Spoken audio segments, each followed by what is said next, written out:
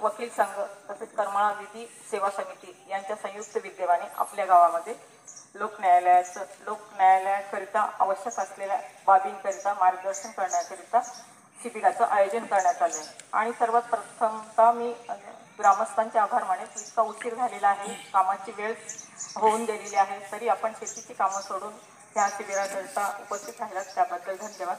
या कार्यक्रमाकरिता उपस्थित असलेले आमच्या संघाचे अध्यक्ष वकील संघाचे अध्यक्ष श्री दरांडे सचिव शिंपी तसेच आपल्या गावचे भूमिपुत्र श्री ॲडव्होकेट श्री हिरडे शिंदे त्याचप्रमाणे सावंत साहेब आणि इ- इतर जे ह्या गावातील असतील त्या वकील बंधू तसेच ह्या कार्यक्रमाकरता आवर्जून उपस्थित असलेल्या पद्माळे मॅडम पाटील मॅडम तसेच आमच्या P L B Kumari Pawar madam P S I Bhujbal sir नंतर प पोलीस पाटील आणि श्रीमती शिंदे आपण शिंदे जाधव जाधव मॅडम सरपंच उपसरपंच. आता मला सर्वच जणांची नावं माहीत नाहीत तरी पण मी सर्व सर्व ग्रामस्थ तसेच सर्व गावातील पदाधिकारी त्याचप्रमाणे सर्व वकील संघाचे सर्व सदस्य ज्येष्ठ विधिज्ञ नंतर ज्युनियर विधिज्ञ या सर्वांनी आणि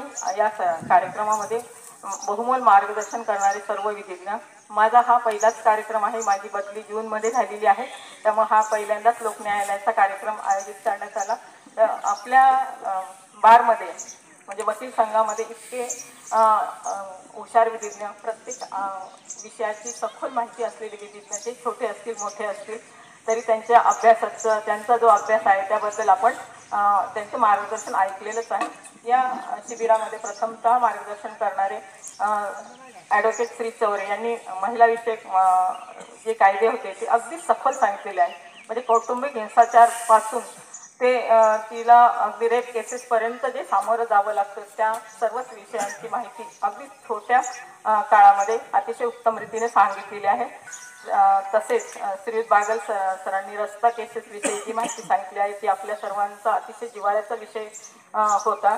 तसेच वाहतुकीचे नियम पाटील सरांनी जे बा पाटील मॅडमनी बाल लैंगिक अत्याचाराविषयी जी माहिती सांगितलेली आहे भुजबळ सरांनी कायदेविषयक जे मार्गदर्शन केलेलं आहे ते पण अतिशय उत्तम होतं. तसंच सिंपी ॲडव्होकेट चिंपी यांनी आपल्याला कायदा म्हणजे काय आणि कायदा कसा वापरावा आणि कायद्याचा उपयोग कसा करून घ्यावा त्याचा गैरवापर कसा होऊ नये याकरिता जे मार्गदर्शन केलं तेही अतिशय उत्तम होतं. तसेच ॲडव्होकेट श्रीयुत शिंदे यांनी आपल्याला वाहतुकीचे मार्गदर्शन वाहतुकीचे नियम जे आपल्या गावामध्ये लहान मुलं आहेत त्यांना मोटरसायकल कशी देऊ नये. तसेच त्याच पद्धतीने मी पण सांगेल की मोबाईलचा अतिशय गैरवापर होत आहे सध्या. त्यामुळे त्या मुलांकडे मुलं जी मोबाईल यूज करत आहेत ते कितपत योग्य आहे याकरिता आपण लक्ष देणं पालक ह्या नात्याने अतिशय आवश्यक आहे. या सर्व विषयांचा आढावा घेतलेला आहे आपण. आणि आपल्याला बऱ्यापैकी सर्वच विषय चांगल्या पद्धतीने ॲक्च्युअल माहिती असतात. असं नाही ते आपल्याकडे बऱ्यापैकी वय झालेले आहे. जरी कायद्याची माहिती नसेल पूर्णतः. तरी पण कायदा कसा वापरावा हे आपण जीवनामध्ये दैनंदिन वापरतच असतो. आणि पूर्वीपासूनच कायदा नव्हता असं नाही पूर्वीपासून कायदा आहे. पूर्वी फक्त स्वरूप ते ग्रामीण भागामध्ये आपल्या गावामधली मोठी मंडळी होती. वयाने मोठी असलेली मंडळी त्यांचा घरा मान राखला जायचा गावामध्ये. गावात ते थोडेफार तंटे झाले. तर त्यांच्यासमोर ते तंटे चालले जायचे आणि त्या तंट्यातनं ते म्हणजे गावातील ज्येष्ठ वकील सा जे- ज्येष्ठ लोक जे सांगतील ते मानलं जायचं. आणि ते सर्व सर्व मान्य असायचं. आणि त्याचंच आधुनिक स्वरूप म्हणजे हे न्यायालय आहे. न्यायालयामध्ये देखील हीच प्रकरणं आम्ही दररोज चालवत असतो. एक न्यायाधीश म्हणून आमच्याकडे जे खटल्यांचा बोजा असतो ते सर्वांना न पाहता माहिती आहे. कारण ज्यावेळेस आम्ही अकरा वाजता डायसवर येऊन बसतो ते संध्याकाळी सहापर्यंत संप हो, संपेपर्यंत कंटाळून गेलेला असतो.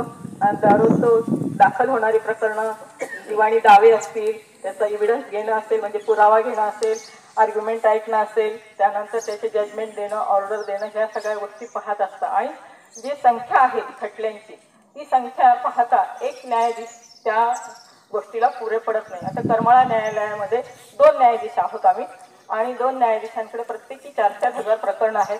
आणि तो प्रत्येक दिवशी आमचा बोर्ड असतो शंभर ते दीडशे प्रकरणांचा आणि आम्ही त्यामुळे सर्वच लोकांना न्याय देऊ शकत नाही. आणि ही प्रकरणं चार हजार आहेत असं नाही. दररोज पाच पंचवीस प्रकरणं आणखी त्यामध्ये जमा होतात. परंतु निकाल देताना आमच्याकडनं एखादे दोन निकाल दिले जातात.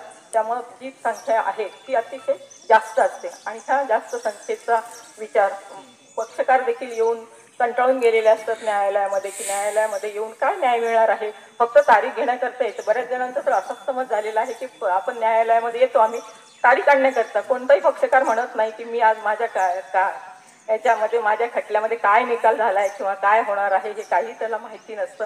त्याला फक्त माहिती असतं तारीख घेण्याकरता. म्हणजे तो इतकं कंटाळेल असतं तारीख घेण्याकरता चालू आहे असंच बऱ्याच जणांना माहिती असतं.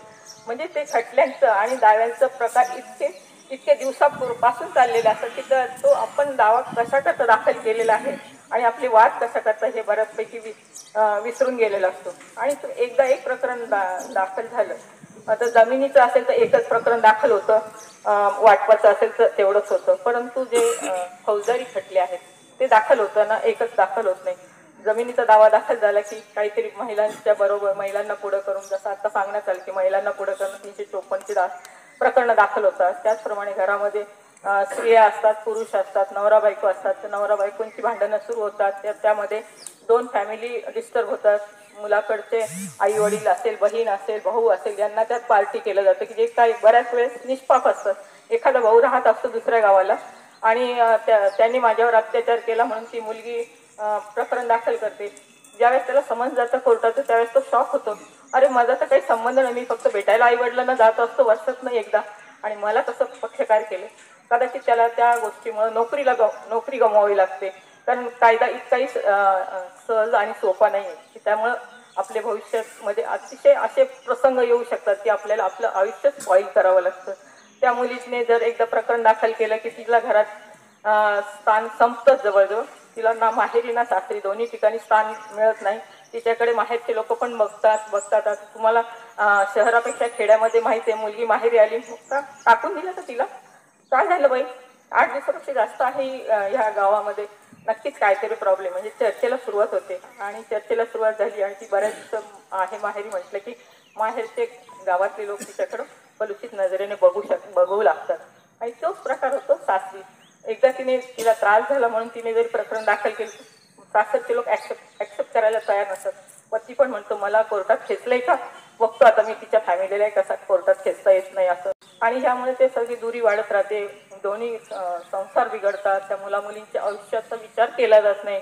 कदाचित अठराव्या वर्षी लग्न केलं तर ग्रामीण भागामध्ये मुलीचं वीस एकोणीसाव्या वर्षी काहीतरी वाद सुरू होतात आणि तिचं दिवस पर्यंत प्रकरण जातं. पुन्हा दुसरं लग्न करण्याची प्रथा बऱ्याच समाजामध्ये नाही आहे मग तिचं आर्थिक विवंचनेला तिला सामोरं जावं लागतं. आणि अशातच जर आई वडिलांची परिस्थिती गरिबीची असेल तर तिला न्याय मागायला सुद्धा न्यायालयात येता येत नाही. त्याचंच कारण असतं की आर्थिक दृष्ट्या सक्षम पण लागतो आपण. पण आर्थिक तुम्ही ज्यावेळेस न्यायालयात येतात त्यावेळेस विधिज्ञ असतील जर तुम्ही वकील अपॉइंट केले केले करावेच लागतात. पण कायद्याचं ज्ञान सर्वांना असतं फक्त कायदा माहिती असतो आजकाल. मोबाईलवरही आपल्याला कळते की प्रत्येक सेक्शनला हा चारशे अठ्ठ्याण्णव लावलं चारशे अठ्ठ्याण्णव म्हणजे काय? मोबाईलवर पाहूनही सगळ्या सर्वसामान्य जनतेला कळतं. परंतु ज्यावेळेस तुम्ही न्यायालयात येतात त्यावेळेस वकिलांची फी ड्राफ्टिंग करण्याची फी आणि पुन्हा आपलं प्रकरण दाखल झाल्यानंतर त्याचा न्याय निर्णय होऊन आपल्याला फक्त मिळणार आहे निर्णय मिळणार आहे. परंतु आपलं सुख आणि चैन गमावलेलं असतं. आणि एका फॅमिलीचं नाही गमावत तर तीन फॅमिली जे नवरा बायको असतात ते मुलीचे सासरचे मुला मुलीच्या माहेरचे हे सर्व सफर होतात. आणि त्या गोष्टी होऊ नये याकरिता आपल्या मोठ्या मंडळींनी लक्ष द्यायचं आहे. परंतु तर काही वेळेस नाविलाज असतो अशा काही घटना घडलेल्या असतात की ज्यांना न्यायालयात येऊ नये. न्याय नेहमीच म्हटलं जातं की न्यायालयाची पायरी शहाण्याने चढू नये. कोर्टाची पायरी शहाण्याने चढू नये ही म्हण आहे. परंतु सगळेच मार्ग संपल्यानंतर कोर्ट सगळ्या ह्या सगळ्या गोष्टी आपण घरात जमवण्याचा प्रयत्न करतो बैठका घेतो ह्या सगळ्या गोष्टी होतात. जमिनीच्या बाबतीतही तसंच असेल कौटुंबिक बाबतही तसंच असेल. पण ते सगळे समस्या सुटत नसते तर तुम्हाला शेवटचा मार्ग असतो तो न्यायालयात येण्याचा. पण न्यायालयात आलं म्हणून काही बिघडत नाही. तर ही खटल्यांची संख्या आम्हाला पूर्ण एक जज असतो तीन वर्षाकरता तर तो त्याच्या पद्धतीने जास्तीत जास्त न्याय देण्याचा प्रयत्न करतो. परंतु खटल्यांची संख्या वाढतच असते. आणि ती वाढणारी संख्या लक्षात घेता माननीय सर्वोच्च न्यायालयाने लोक न्यायालयाची मध्यस्थी केंद्राची स्थापना केली आहे. जस्टिस भगवती यांच्या मार्गदर्शनाखाली लोक अदालत लोक न्यायालय मध्यस्थी केंद्र यांची स्थापना झालेली आहे देणारा खातून वर्सेस स्टेट ऑफ बिहार या खटल्यामध्ये ह्या गोष्टीची संकल्पना मांडण्यात आली की जेणेकरून जास्तीत जास्त लोकांचा लोकांना न्याय हा प्रत्येकासाठी न्याय हा असतो आणि दोघांनाही न्याय मिळण्याकरिता लोक न्याय न्यायालयाची स्थापना झाली. मग तो न्याय मागण्यासाठी आपण फक्त श्रीमंत व्यक्तींनी जात जायचं का? कोर्टात जायचं म्हटल्यानंतर की पैसा तर लागतो हे तर सर्वांना माहीत आहे. जरी तुमचं प्रकरण असो कोर्टात नसो पण न्यायालयात जायचं म्हणजे पैसा भरमसाठ ओतावं लागतं हे आपल्याला माहिती आहे. त्याचाही विचार करून मग गरिबांचा गरिबांना न्याय हा समान सर्वांसाठी असतो स्त्री असतो पुरुष असतो लहान मुलं असतो वयस्कर असतो या सर्वांचा सर्वांना न्याय मागण्याचा अधिकार आहे. तुमच्याकडे केवळ पैसा नाही म्हणून तुम्हाला न्याय मिळणार नाही असं आता होणार नाही. तुम्ही लोक अदालतीच्या माध्यमाने येऊ शकता मध्यस्थी केंद्राकडे येऊ शकता. तुम्हाला प्रकरण दाखल करायचं असेल तर तेही मार्गदर्शन लोक विधी सेवा समितीमार्फत मिळतं. तर त्यासाठी फक्त आपण विधी सेवा समितीकडे म्हणजेच न्यायालयामध्ये एक विभाग आहे. त्या विभागाकडे आले तर तिथे वकील नियुक्त असतात. ते तुमच्याकडनं पैसे घेत नाहीत आणि तुम्हाला मोफत मार्गदर्शन मिळतं. आणि तुमचं खटला दाखल झाल्यानंतरही तो मिटवण्याचं प्रयोजन आहे. आणि दाखल होण्यापूर्वी म्हणजे एखादे वाद झाले असतील किरकोळ तरी आपण ते मिटवण्याकरिता प्रयत्न केले पाहिजे. त्याकरिता सुद्धा आमच्याकडे विधी सेवा समितीची समिती ही सहकार्य करत असते त्यामध्ये ज्येष्ठ विधिज्ञांची नियुक्ती केली असते केलेली असते. ते तुम्हाला मोफत सल्ला देतात आणि तुमचं प्रकरण मिटवण्याकरिता मदत केली जाते आणि त्याकरिता पॅनल अपॉइंट केले जातात.